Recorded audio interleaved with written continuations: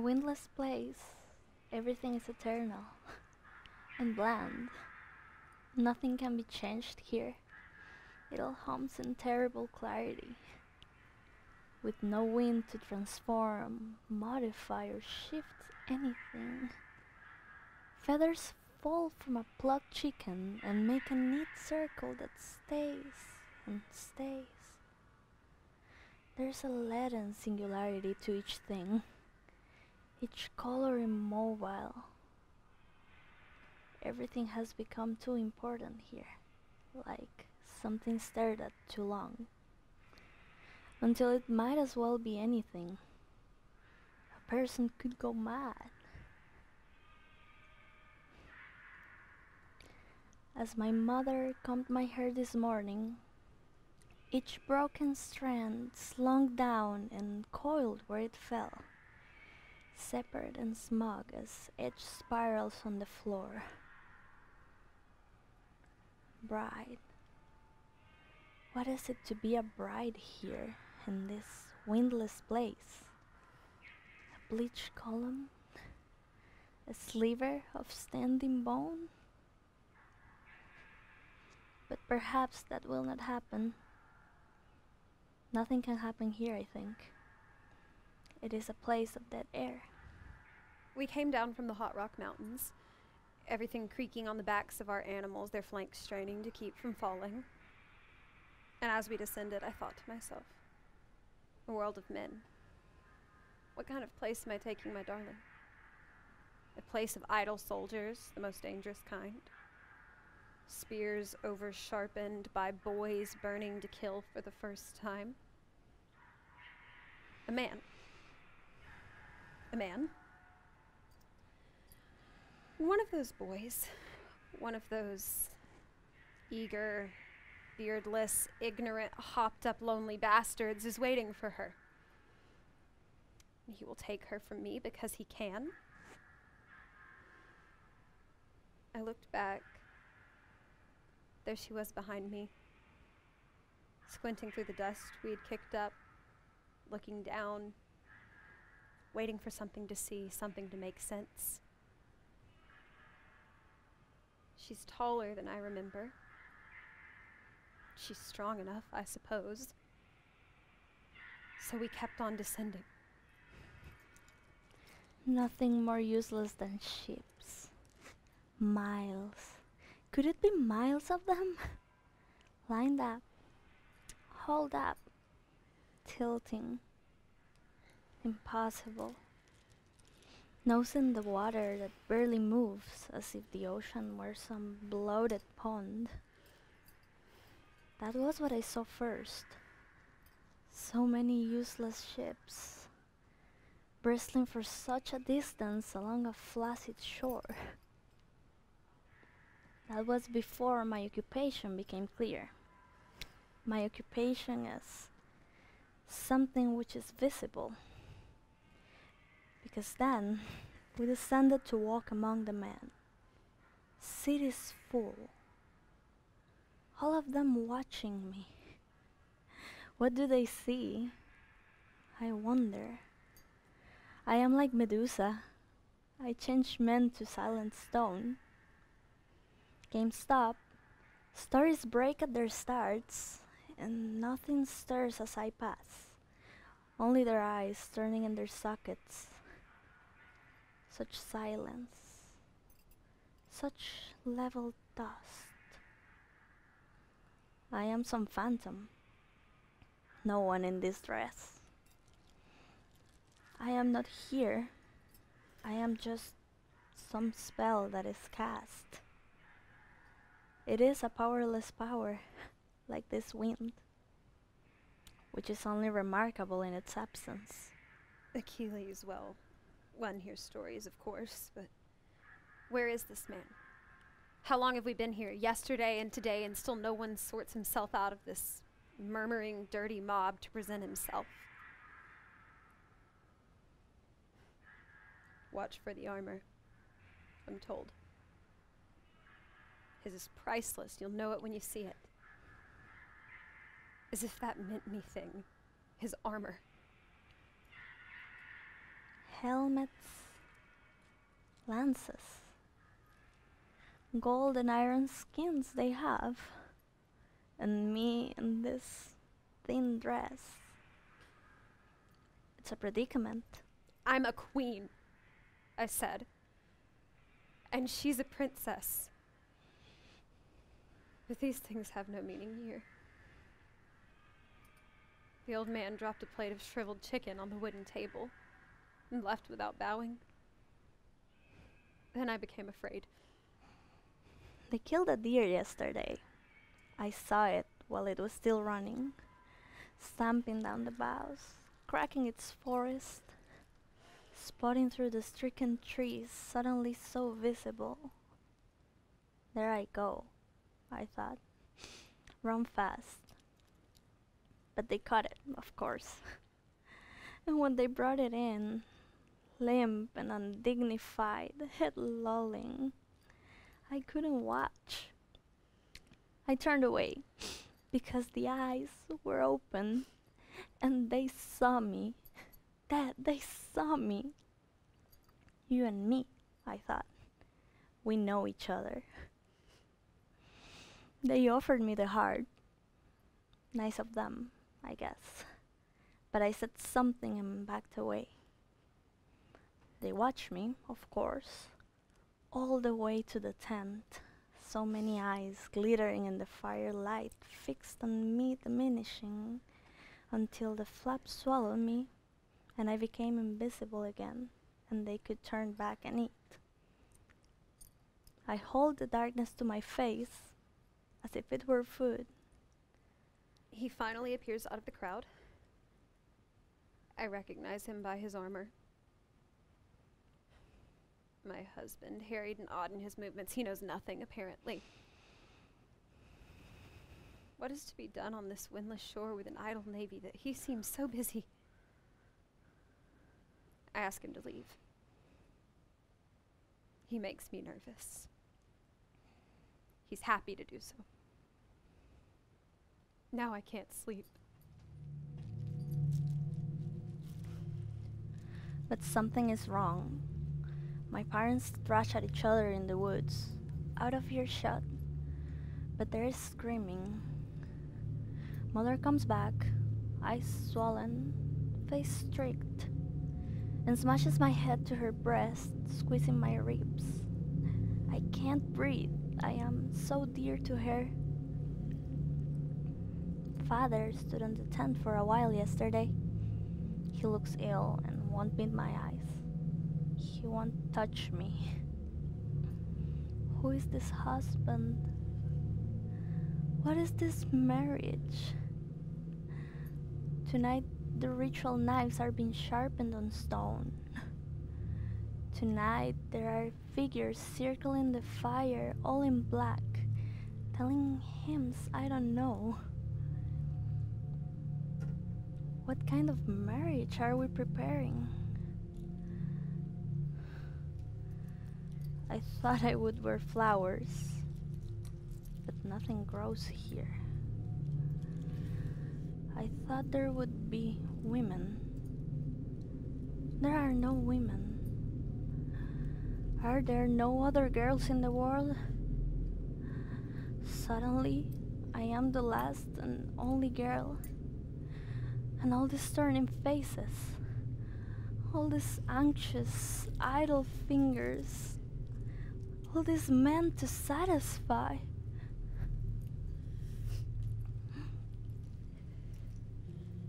This is the bride. The only bride. Morning comes, and I am a white dress, walking up the crumbling cliff as if I know where I'm going, what I'm doing, to meet him, whoever he might be. I am ascending to the altar. I look down from a great height to see how the ship still lies, splayed like broken teeth. Today the light is merciless, and sound would travel if there was sound. But there are only my feet on the pebbles, that hurl themselves down to the ships as I pass. I come to the altar, but there's no one, just the black shrouded priest. And there my father, who has made his face a stranger, eyes locked under sockets dull as coal. And a knife. But where are all the animals? Poor innocents, with the last cropped grass still in their moist mouths. But there's only me, and all the eyes are on me, visible me. This is a terrible place. Something must be done.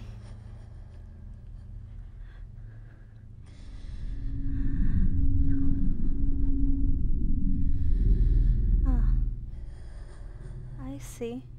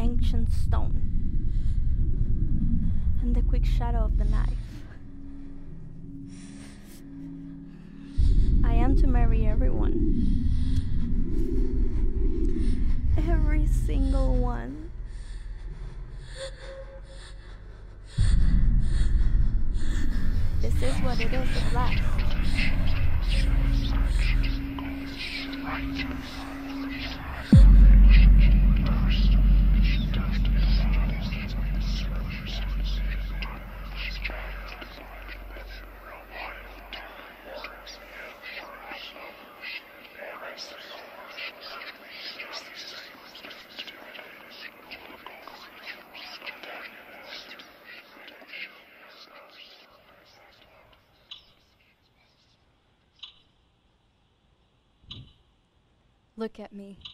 Everyone else is asleep, but I'm always awake. Rats scuttling in the wainscoting. In their heads, too. Even as they dream, I know even there. Listen.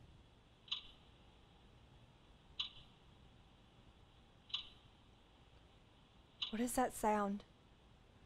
Mama filing her nails, polishing her teeth, setting down her tools, click, click, picking them up, click, click, making her face.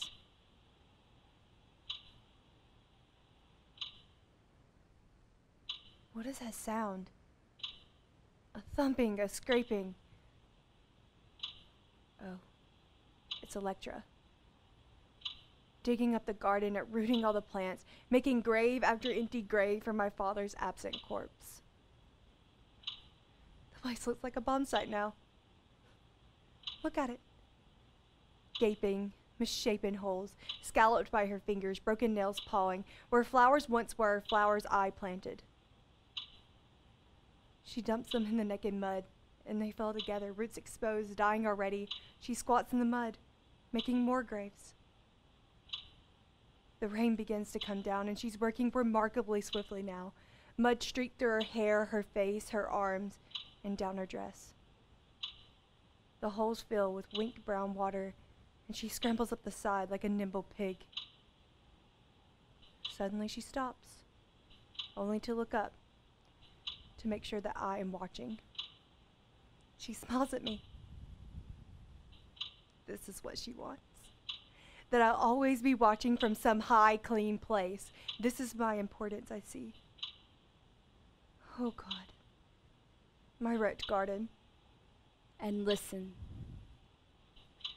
My father, the swan, taught me how to give birth to perfect things. I am heroic and extraordinary. I astonish myself. I stand in the tree and reach between my legs, and there, I have made an egg. It is dove gray and smooth, and its shape is the one true thing in existence. I place it against my cheek. There is the sound of a curved fingernail scratching. She unfurls herself like a sweet pea blossom and stands beside me, tall and breathing. We hold hands.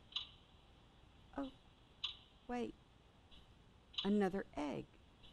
I must let go of this child, this wonder, to reach my hands again between my legs for the sticky pink roundness, a slipshod copy of the first gray perfection. I tap it with my finger, and a pale good girl creeps out. I did not need another, but she is here and already clinging. What? Another egg already cramping my belly? Is there no end to this? I reach again. What is this horror? A misshapen oblong like a tortured walnut, a cracking like teeth on bone, and it emits itself, all bald eyes and scrabbling hands. Is it female? What does it matter? It does nothing but stare and stare at me. It is already injured. But a final, a fourth has dropped uncaught out of me. It cracks itself open on the ground far below. Perhaps it's dead. Good. What a long fall. But no, a boy looking up, armed and agile. Where is my girl, my gray egg child, the only one I ever wanted? But she has flown forever while these other mistakes grapple themselves to me, pulling me down. There is no trace of her in the sky, and the boy begins his ascent up the tree. He is sure footed, the tip of his spear flashing. He will come. You see, I am their condition. I am the rabid dog who tethers herself in their garden. Mongrel bitch, howling at moons, at suns, at stars, at it all. That's what I do. I'm impossible, ask anyone. I'm the creation battered on this anvil of insanity, this place smelling of blood, of slaughter, of helplessness. They cannot get rid of me. I cannot get rid of me. I make everything happen.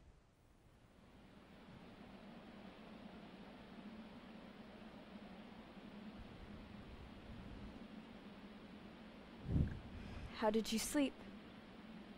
Badly. You again. You really nauseate me. Greasy and black. You're like the ravens and crows that shit on the pediments and shriek and dive at the windows. Unsightly, brutish mess. Let me get upwind of you. You might at least bathe. And you? What are you anymore? You gave your face away, you sold on the butcher's block, you called the family hearth. Look at you, propping your sagging carcass up, stinking of your rotting beauty, and even as you stink, you stamp and flirt your pointless feathers. What have you done to the clocks? Two have stopped, three run crazy in their circles, and the rest won't stop chiming. They are reckoning the hour of your death, which is now and always. Nothing will ever work right until then. The house has been holding its breath for twenty years, waiting for judgment. Then let them chime another twenty. Your brother, your dear fiction, will never return in my lifetime. Oh, yes, in my lifetime and yours, although just barely in yours, rather near the end. And for me, life will have just begun. You don't have the strength for vengeance. I figured that out a long time ago. And you're useless otherwise. You'll die here having accomplished nothing, not even a rat faced child to mourn you. Merely an irritation first to last. Tick, tick, tick. You don't have it in you to do anything by yourself. I am my mother's daughter. You should be terrified of me.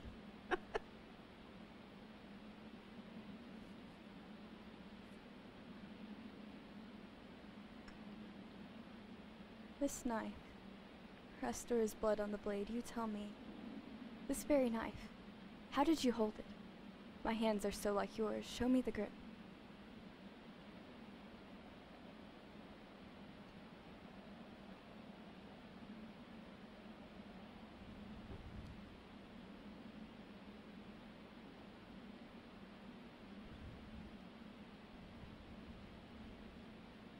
Like this girl, like this, and brought it down 20 times at least on his old man's chest.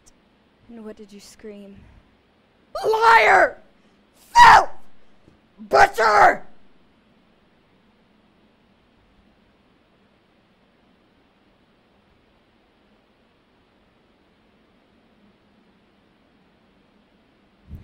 Liar! Filth! Butcher! No originality? Raise your arms higher, girl. You'll need the force of a long swing. I did. His chest was wide. Higher! Don't you look silly. I hope I didn't look that silly. I don't think so. I could see how I looked in his open eyes as I brought the blade down. Oh, give me back the knife. You're hopeless.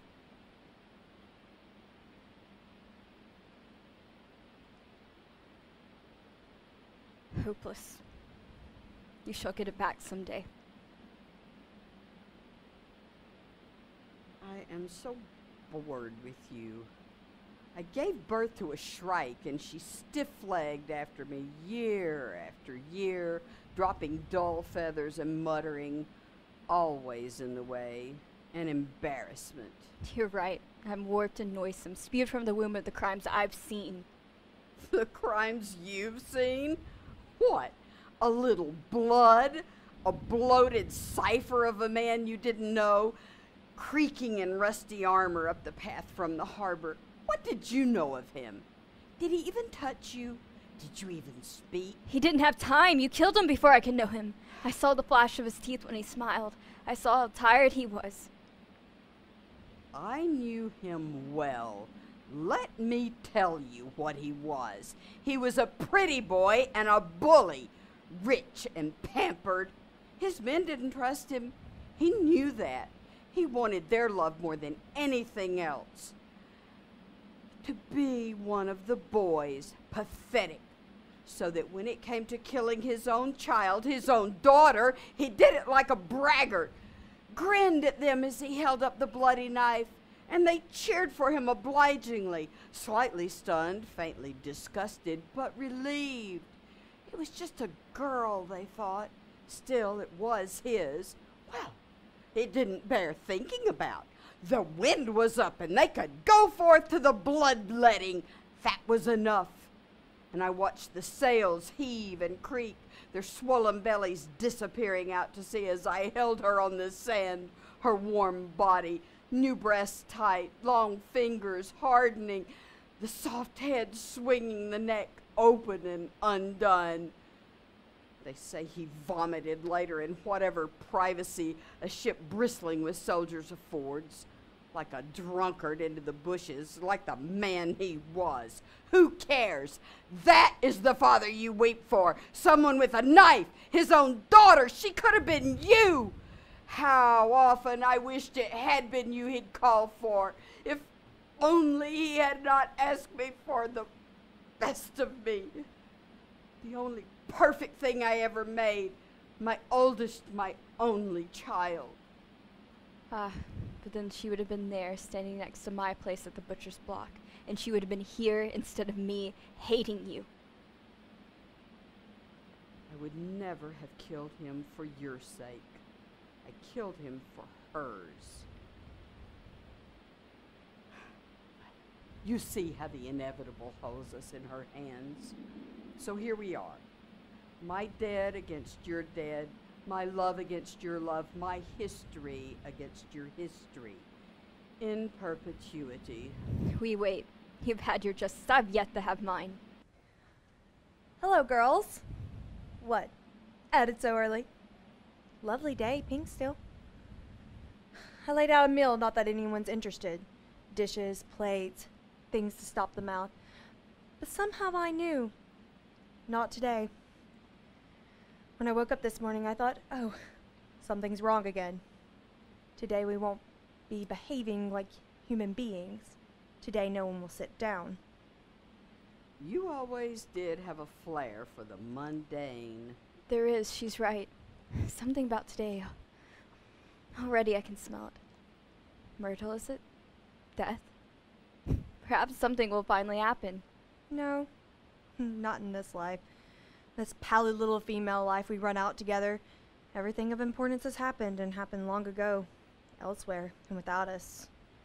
We are not part of history. Women.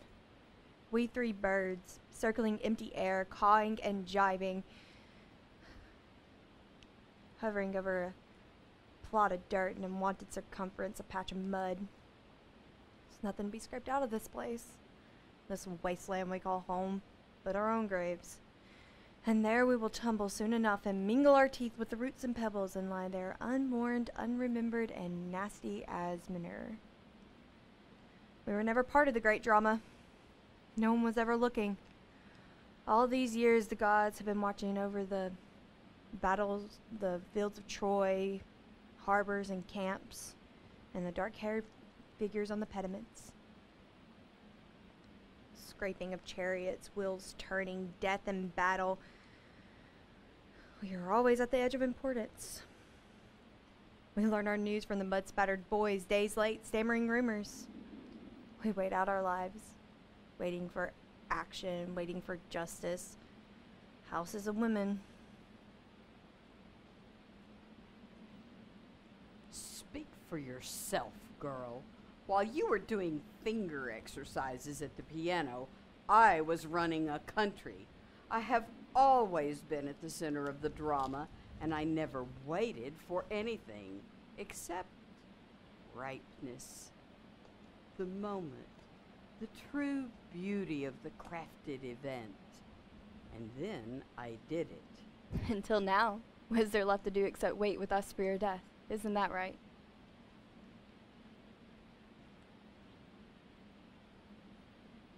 You shiver? Just now? No. Perhaps some sort of palsy starting. You are getting on, so we should begin to expect these things. First the body, then the mind. Or perhaps the other way around. Which do you think will go first? Shall we take bets? I'll tell you what will go first. You. There is something about this day. You're right. Actions can be taken on a day like today.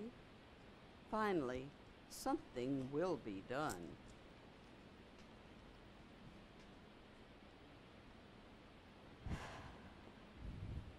Don't you hate her?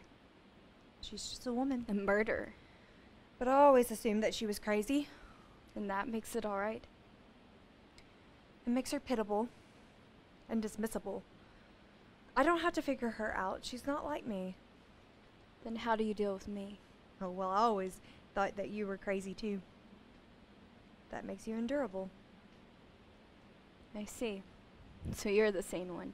Such martyrdom, trapped in the sagging mansion with two shrews screaming over your bowed head at the dinner table. Something like that. While you comb your hair, wash out your simple dresses, hum your tunes, and carry on, shaking your head at the sad, preposterous shambles we have become. The pretty one. The one everyone likes. The one no one worries about. I'm not frightening. I'm the good girl. Everyone pities me. I'm so reliable. I learned how to push my own pram the summer you wouldn't stop crying. Do you know that you cried for nearly three months straight? Nothing could be done with you. A jam buzzsaw. Life was impossible. So I crawled out of my pram unnoticed and pushed myself into the garden and stayed there. No one looked for me, or I would close the door to my room and remain undiscovered for 24 hours. And when I would come out, someone would sign and hand me you dripping and gabbling about something or him. I was, I am, unremarkable. No one ever asked me a question. Not once in my life. No one's ever been curious about what I might be thinking or feeling. No one's ever said, What did you see? Where were you when it happened? What do you remember? What do you feel? What did you see? What do you remember? What did you feel? I don't know. I don't remember. All I remember is what you and she have told me. I remember your memories. No. Was I there? Did I see it? Tell me. I don't know. All I know is that I did. Yes, and how can I not hate you for that? To know that you existed. Well, I don't remember you, so perhaps you didn't. No, I never did. I look at the family pictures and I'm always on the margin, smudged by your dirty fingerprint. Could be anybody in that pale dress. Your thumb across my face, our little historian. Well, somebody had to be. Everyone else is dead or disappeared. And you. So placid, so stoic. Such a bore. What are you doing in a family like ours? You're utterly useless. Me? And what about you? You've done nothing. Not one thing in your life. You'd think we could get something out of you, having to put up with your insults and yammering year after year. A little light housekeeping at least, an occasional botched dinner, but no. People ask, and I think, well, she must be doing something. But I have no idea. I remember. I remember. I remember. I've not chosen this. I would have never have chosen this, to spend my life as a vessel for one impossible truth. But that is my condition. I've carried it like a dragon inside me. It is was alive, not me. I feel it flip and slap its hard tail against me, or rub its teeth along the tender pink walls of me. Creature's song keeps me open-eyed and walking all night long. Do you think I would have chosen this? How would you ever live differently? What could change this? Justice. But my dear monster, there is no justice, only life. You must finally wake up to that. He will come.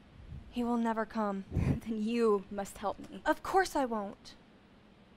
Because you're a coward. Actually, I don't think I am a coward. You are. I'm merely a pragmatist. I won't do it because it won't work. We've discussed this. One more corpse, one more murder, and we're sucked back into the maw of history. Generations after generations throwing their bodies in the name of what? Justice. It is not for us to render that. What is justice anyway? Your idea? Nothing more. Perhaps there's nothing like justice in nature. The nature is appalling. We can do better.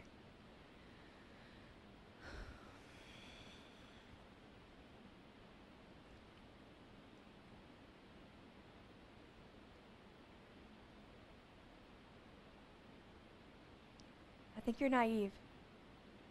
But of course you are. You never had to grow up. I was the only one who had to. Our brother remains here, some phantom man-child that we dreamed into an avenger. You are no less a phantom, no less a child, just taller, louder, and just still stuck at the hurt side, blood still wet on the stone, his screams echoing in the air, and you stand there, mouth open, hands empty. It's just that you walk around and dog our steps and eat sometimes so we forget that you're really just a ghost and that you never grew up. You know nothing of life. You know your little corner of history, and you fingered it and fluttered it in our faces until it's unreadable fake nonsense and probably wrong to begin with anyway. What I know, I know absolutely. Has made me. Everything I am is that knowledge. But what are you? A white-faced maniac. Someone who is welcome nowhere, someone who has never actually lived. You have wasted your life, whatever life you could have had, and broken your only body in bitterness and hatred. You've debased what could have been a settled and complicated mind until now. It's nothing but a hurdy-gurdy you crank to drone one notion, one memory, one impulse into action never taken. Have you thought of this? That? All this talk of justice and history, and all you ever could have been is someone who just hated life. Why not kill yourself? If I believed for a second what you believe, that there's no such thing as justice in this world, then I would kill myself. Certainly. What would be the point of me? But what I know is that I'm the guardian of this truth, and I'm here to see it honored. The world will never forgive us if we do not make sense of it. What I've suffered only has meaning if I continue to suffer it. I am necessary. I believe that. My death would release me, but bring down history and crashing ruin. How would it notice. No, you wouldn't. You'd merely sigh and go for the dustpan. Then again, you become virtuosic in obliviousness. And I look at you. Haggard and rank, and I think the only thing that she has ever accomplished is that she has ruined her own life. That's not true. I've also ruined hers.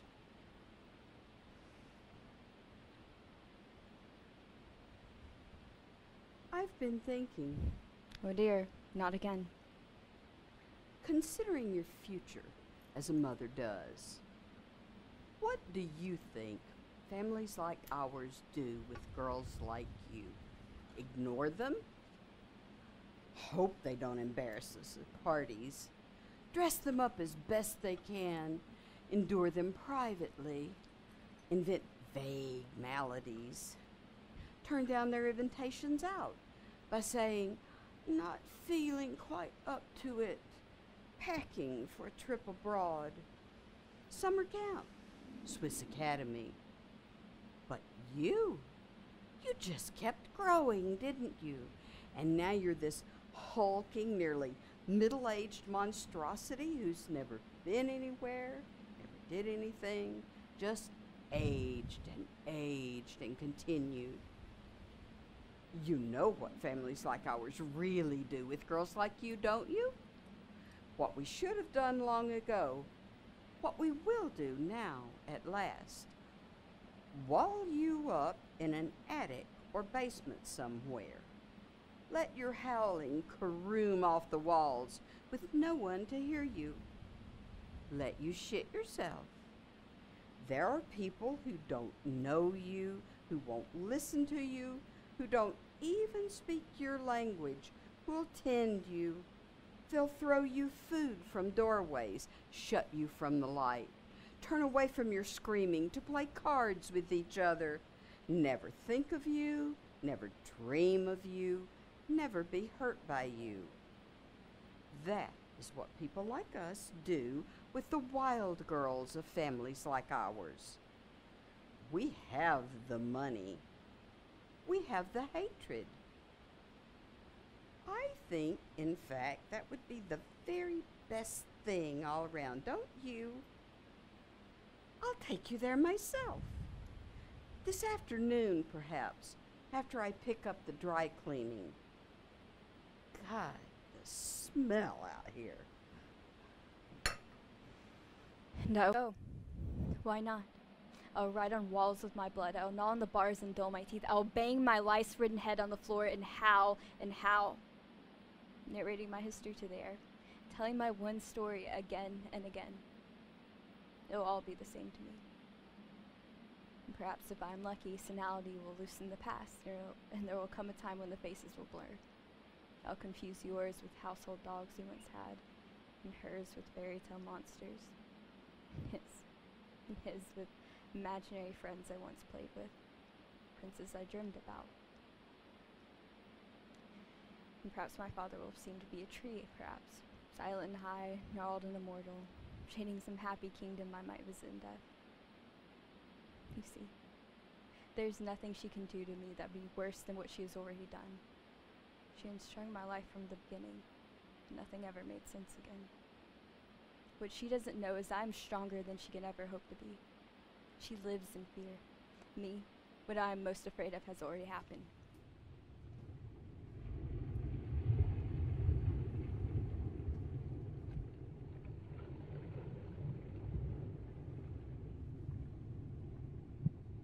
Smell of burning is in the air, carried to us from the battlefields that we never see. Of buildings, of bodies, of children. Find us here. Drop itself exhausted in the furrows of our field, and spring is false again. We bear nothing, we bear all. We are blind to what is killing us. But we smell it in the wind. I had a brother, so the story goes. Another child in the household, kicking his feet under the table, banging a spoon, having ideas. Dark he was, and different from the rest of us. Only in his sex. He always knew that he would leave that table. The four corners of the yard, walk about, he read of boats and pictured himself on the prow, eyes on the horizon. While we, the others, traced the rigging picture with our fingers and yawned and wondered what would be for lunch. It's not for us, the world. We let him screech and run and flail at his sword, make threats in the nursery, jump from windows. We talked over him and touched him in passing as he touched us in passing. And so it was in the end. We lost him to the world. Like we lost all the men. We never knew him at all. Any more than he knew or we knew our own father. A man, a crunch of boots down the path away from you. Badly written letters, smudged by unimaginable hands and weather. To someone you think you are, from someone you think you might want them to be. Men exit such places as this and never come again. Or if they do come back, like my father, they come back bearded and changed, distracted and absent as they are here, stand a moment blinking in the courtyard and quickly dispatched into the next world. My mother was right. He was an impossibility in such a place as this.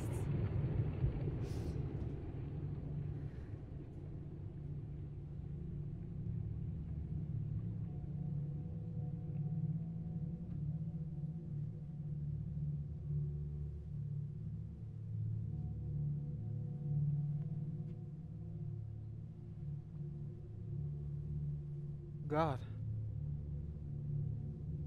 How depressing. A ghost town.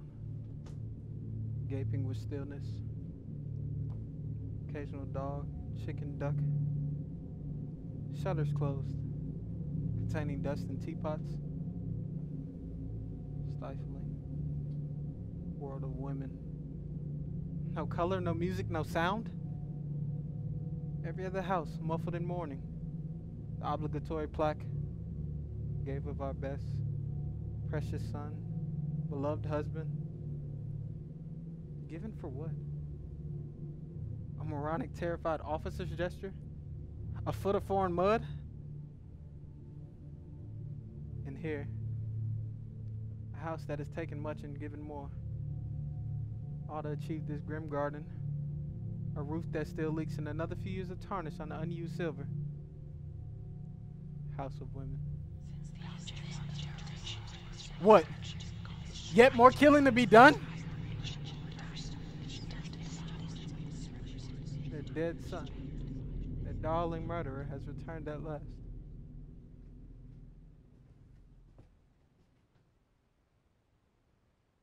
Is this the house? What house are you looking for? I bring terrible news. This is the house. Orestes, son of this house, is dead. I was his companion. Oh, Here are his ashes. do you have a gun? No, I'm not a soldier anymore. Well, what use are you? You might at least have killed me. Who are you? No one now. I used to be someone's sister. First, I was someone's daughter, but that was over a long time ago. Then I was someone's sister. That was enough to get me up in the morning. Years and years. Now I'm what? A Thing of some sort, I suppose. Something you might hang up in the field to frighten the crows, I guess. There must be some use for such a large thing. I'm sure they'll think of something. Are you Electra? Well, I suppose we might as well name it. Pretty name. I have his ashes. Oh, well, those will come in handy. Drains for the tomatoes, filler for a bad pie crust. How light he is. Heavier than an idea, which is all he ever was, I guess. Nothing. He's come to nothing after all. Ashes. Is that a tooth? I remember his smile. His hair bright and long in the summer. How must have curled and fizzed in the furnace. This was a man once. Yes. Hardly seems possible. Look at this. he was such a funny child. He used to imitate me. He'd stalk about the parlor, muttering to himself the way I do. Pretend to trip, ride himself, trip again. I can't explain it. He made me laugh. Did he make you laugh? Oh, yes. I laughed at him all the time. He struck me as somewhat ludicrous. He was something of an actor, Was he? taking on parts, pretending to be people he wasn't. Did he imitate you? Yes, and I imitated him. We were a riot, Did you love him? as much as he loved himself. Did you know him well? No one did. He was somewhat severed from his own life. It seemed he died many times, perhaps in a way he was always dead. Did he ever speak of home, of us, me? He spoke of you. He spoke of a duty and a terror and a guilt. He never spoke of home. Was this his home? No, not his. Mine either, for that matter. We both of us die in exile. What did he say about me? That you were the one that saved him. Did he love me? He didn't know much about love. He knew something about blood. He was fearless and cruel in battle, and he could look coolly at sights that made other men scream or vomit. He could do things to people that don't bear thinking about.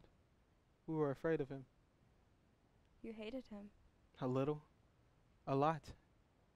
He was utterly alone in the world and he never looked back. And because of that, he was dangerous.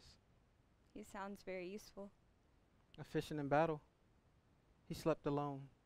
He had terrible dreams. Nightmares.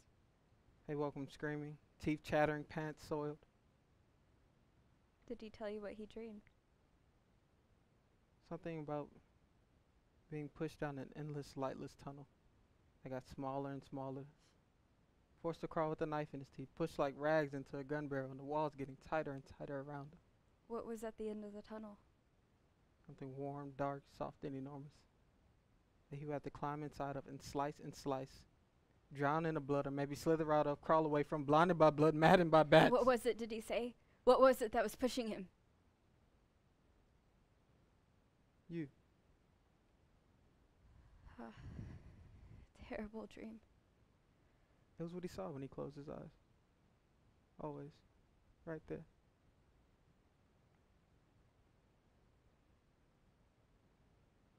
Who is this in my hand? Your brother. So you say.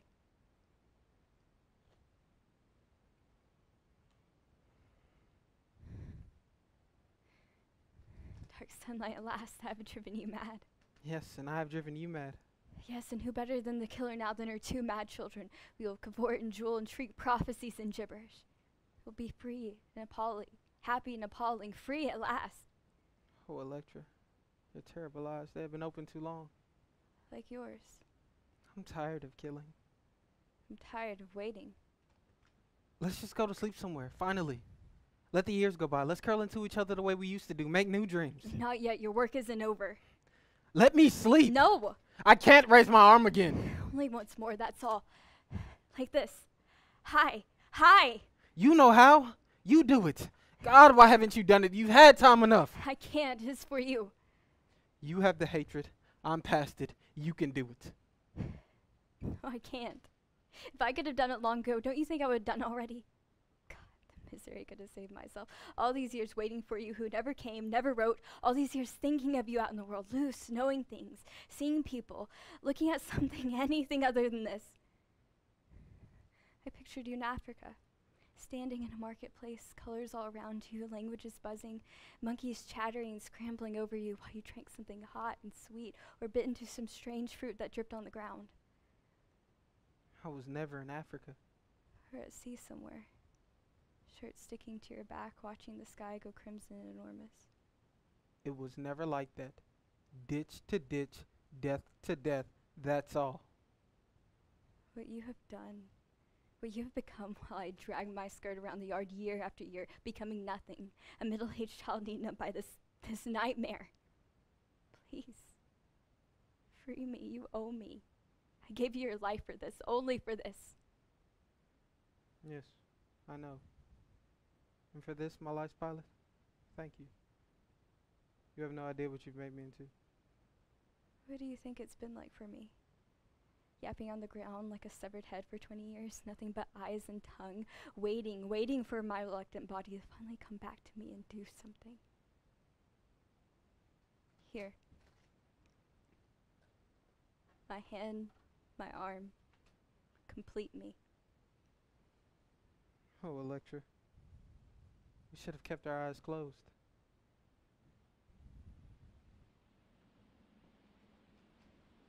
Sir? I bring terrible news, madam. Your son is dead. Cut down in his glory, a great sacrifice. I'm sorry. How? While leading the charge, he fell from his horse and was dragged out into no man's land. I crawled out later that night to find him there tangled in the reins. A terrible death, but heroic, lit by his valor. Sad.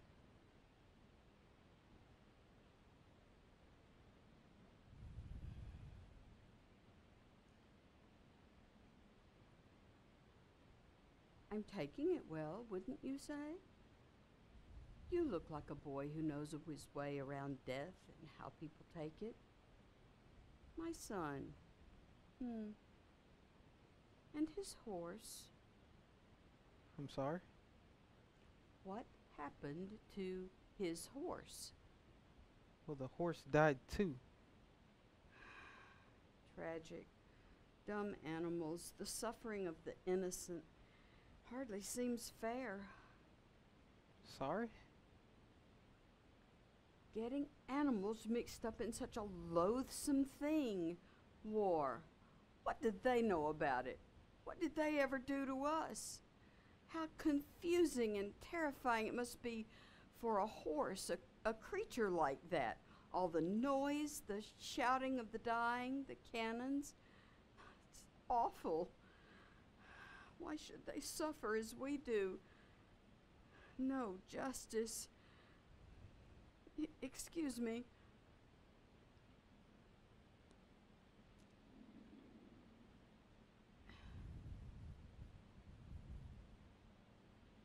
You look terrible. You must be tired, famished. People must eat. We must have something in the house, don't we? Jello, vodka, Ritz crackers, something? Hello, sunshine. Not a very good day for you all round, I'd say. You look flushed. Nice to see some color in your cheeks, though. Awfully quiet. Uncharacteristic. Never one to keep one in suspense about what she's feeling. Well, bright eyes. Let's give the man what he came for. Oh, by all means.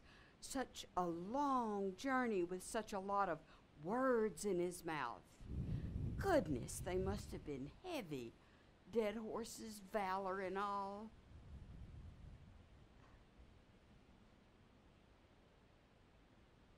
May I touch you? I'm sorry? Oh, no, no need to be. No need. Such a great round head. How it must have hurt your mother butting through. I remember what I thought at the time. I screamed, I believe. Well, one does. But you see, I thought I was giving birth to the moon.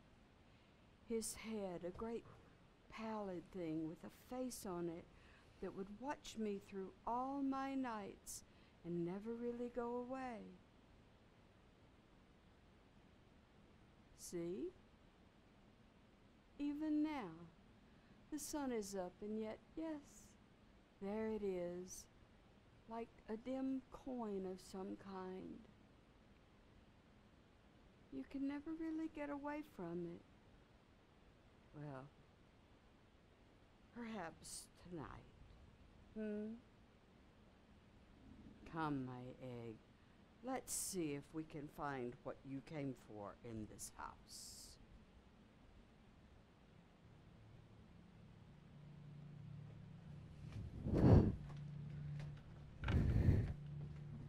What a strange day. The weather can't seem to make up its mind. Shall we rain? Shall we be pleasant? The sunlight has a dull metallic glint to it. And the wind is upsetting the grass, running it backwards. Earthquake weather. The teacups were quivering in their saucers, and I thought, oh, it's just the war. But it's silent. Have you noticed? Not a sound. I can't hear anything. Whatever it is, it's happening far, far away and out of earshot. Perhaps we'll hear it on the news tonight. Is it odd how one can go throughout a day and nothing out of the ordinary happens, but at the end, yes, you hear of the enormous events that have taken place stock markets crashing, landslides, handshakes, train wrecks. One thinks, what was I doing at that time? Folding sheets, ironing, planning dinner. While millions died, while the world came to an end, what was I doing at that time? Making a sandwich, Digging a grave. humming a childhood song, Sharpening an axe. yawning, Preparing the ground. changing a light bulb, Counting the seconds. opening a can, Making it happen. looking in the wrong direction. making it happen. Making it happen. There. That's where I was. There. Me. Without me, nothing would have ever have happened.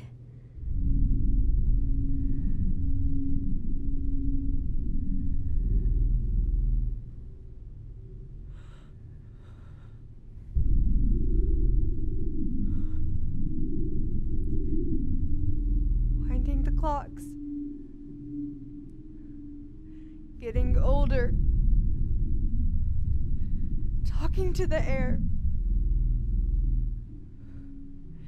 trying to remember a terrible dream.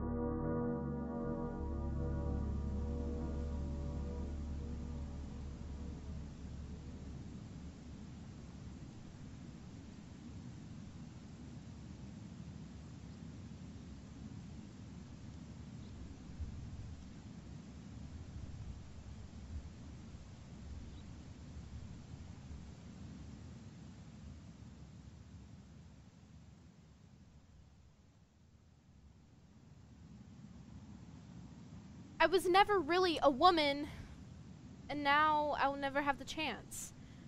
I never really lived, and now I'm immortal. They say I was spirited away at the moment of the knife. Some deer died in my place, but it looked like me to me, at any rate. It was disorienting. I rose up out of myself, looking down at the figure on the stone. She's so young, I thought. Beautiful, in a way. But then I forgot about her. Because of the press of air and light, the fact of traveling at such a high speed. Intoxicating. This is death, I thought. Just another trip to an unknown place to meet a stranger. And it seems I was right. Because this is a sort of heaven. The kind of place someone might have thought I would like. Safety, certainly. And a nice view. Who knew it would be so dull? I'm the keeper of a shrine on a wild island. I'm surrounded by girls. Who are all alike because we are all homesick for Greece. Which is to say, life. No one to dress up for here. Just the unseen gods. No one to kiss. No crowds at the marketplace. No news. Nothing to talk about, really. I guess we should be happy. We are girls forever. And we are all rather pretty and white. And life is scorchingly uneventful.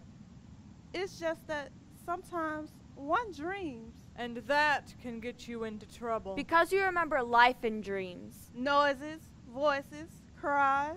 Colors that buzz up against each other. Things to touch. The skin of oranges. The cheek of a lover. Books. Tools. Paper. There is nothing to touch here. Except each other. And we are all too sad for that. This is privilege. We can't help wondering what we might have become without it. If we'd been left alone. If I hadn't been so bloody special. I think I was fairly bright. Observant, at least. Maybe that was the problem. I can't help feeling that I was put away just when I threatened to become interesting. Just when I started feeling things out of the ordinary. Bleeding. Getting angry. Talking too loud. Too fast. Too much. I hear my mother killed my father on account of me. I was impressed. I didn't know I rated so much vengeance. But Mom, well, she was interesting. She lived long enough, and I'm sure she's dead by now. No woman can afford to be that interesting. I wish I'd been that interesting. Now I am something made of stone, handsome, bleached, and perpetual. We are stand ins for Artemis. Who is too busy to be a stone. She's off hunting and conniving. Running. Being impressive. That would be fun. Knowing something. Feeling the muscle that pulls the boat out. Judging distance. Accomplishing things. Like Greece. What did we know of Greece? Or life. We think of Greece. And it really is what we didn't quite see, hear, touch. But what we sensed. We were girls there. Pivot girls. On the threshold of consciousness. Hurried past what was essential. We remember the cities and what we see are. Corners not walked around. Dark doorways. Like open mouths. We would not pass through. But wondered. Conversations held barely out of earshot. So that we heard sound. Sibilants. Scattered syllables. But not the sense. Muted colors of a life seen through a veil. And now we are all still guessing. Just at a greater distance. At a terrible height. Oh, and here's the irony. If a man should reach us at this place, we are supposed to kill him. But all we want to do is speak to him. Ask questions. Touch him. And I do, but only at the point of a knife. I feel their necks from which would issue answers. But no. We terrify them with our whiteness. Bind them in ropes. The way market wives bind vegetables. And then I say something or other, and the knife comes down. And we'll land ourselves in silence once more. The seabirds call. Rise and fall on currents of clean air. And we have served something. The silenced male body. Offered up to something. Just as I was offered. It has a sort of a circular, an inevitable, a sense to it, I suppose. Oh, there's a madman on the beach. Look at him! He seems to be attacked by phantoms. Birds, is it? How he screams! You can almost hear it. Covering his head and running. rolling in the sand. To get away from what? Now would be the time to bind and bring him. Go. What terrible suffering actual people endure. Look at life. A man trying to run away from his own head. I've heard of such things, what wars do to people. They cannot escape the moment, the horrifying moment, whatever it is, and they live inside of it forever. Even on a day like this. It's beautiful, of course. It always is. If he could only see it. Birds are more birds. Birds are more black or white. Black, black, white. They're all female. They're all female. What do the birds say? You have killed her. You cannot kill her. You have killed her. You cannot kill her. Who? My mother. Well, why would you do that? Oh, everyone told me to. A god told me to. You always do what you're told? Yes. I was a soldier first, and for a long time. Only recently a matricide. Ah, well, I'm a priestess. I'm equally gifted in compliance. And I'm also a girl, so. Just my luck. Obedience meets obedience. We'll probably end up killing each other. Funny you should say so. That's why you're brought to me. I'm supposed to kill you. Why? What I've been told to do. What god do you serve? Does it matter? Artemis. Then I serve Apollo. That's why I'm here. What did he want you to do here? Steal the statue of Artemis. Bring it back to Greece. Why? Who knows? I didn't ask. If I did it, he said he would get the Furies off my back.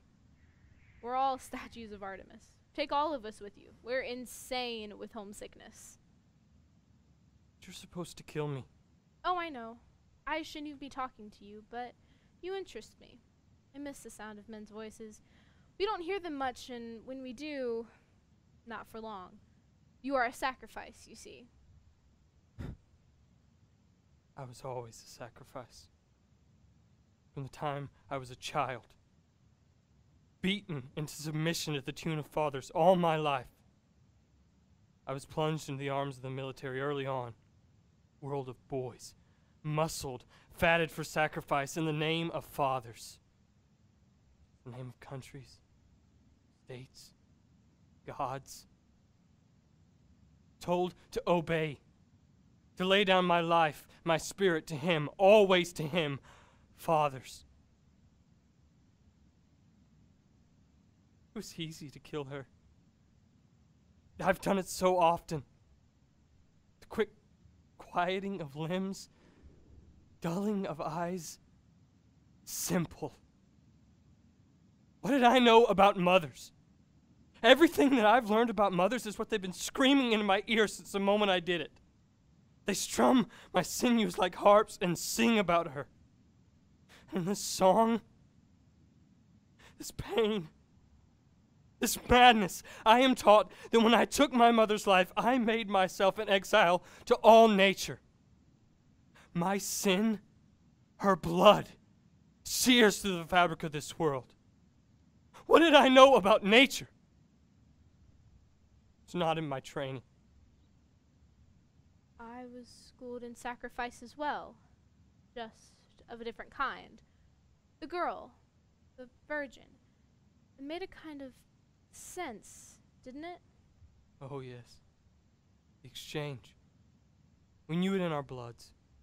We are the necessary payment of the people. The negotiation with the mystery.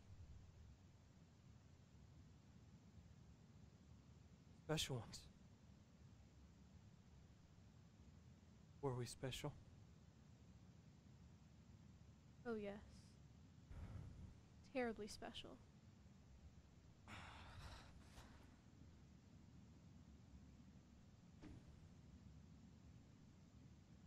I come from a house eccentric in blood. Eccentric in suffering. Lie upon lie. Generation upon generation aberrant, Pariahs. netted up Tight knots. in fate. And fate.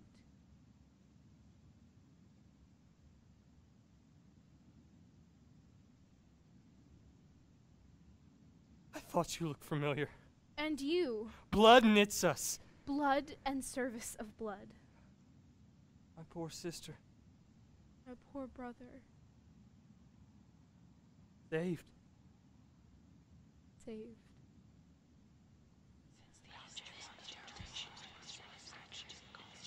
Everything is watching, Everything up there.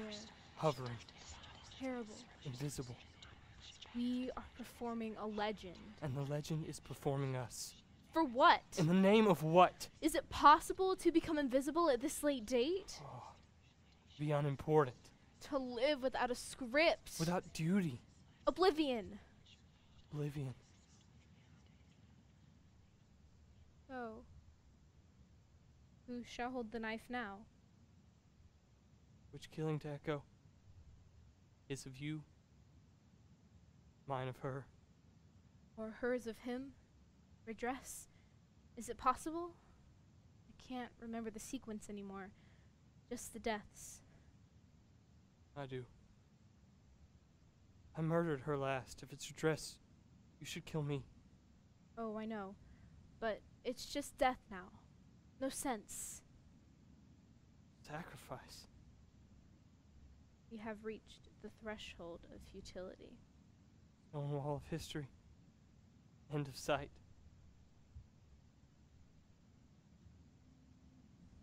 I have heard that a needle can be made to pass through stone. Tiny hole. Inconsequential to the structure.